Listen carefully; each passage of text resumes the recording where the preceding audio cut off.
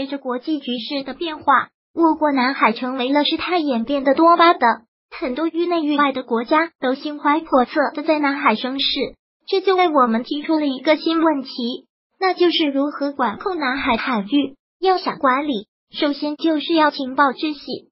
如果无法做到了对最新情报的及时侦测，管理也就无从谈起。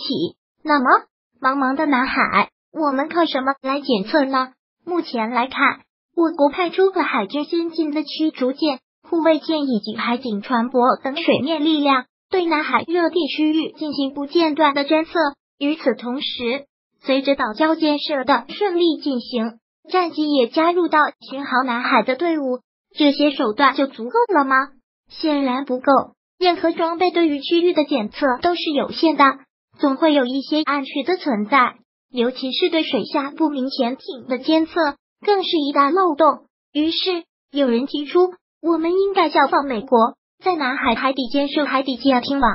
这个想法虽然不错，但在海底铺设监听网有两大弊端：第一，铺设海底监听设备的代价非常的高昂，且存在很大的风险。第二，即便是美国铺设的海底监听网，其也是采用录音设备。要想获得情报，还需要和潜艇从海底取回相关资料，才能够进行情报分析。这无疑是滞后的，无法帮助我们第一时间了解南海海域的最新动态。可见，在海底铺设网络并不那么有效。那么，还有其他技术可以实现这一目标吗？答案是可以。最近。一条地方发布的消息引起了大家的重视。该消息为三亚海事行字二零一八三号及关于在陵水县南湾半岛以南海域设置毛博试验平台的通告。该通告是我国中电科海洋信息技术研究院有限公司为陵水县生产的 FT 三零零五毛博浮台设置已铺设完工，目前已经正式投入使用。这条消息的发布。为我国南海全域监控提供了切实可行的解决方案。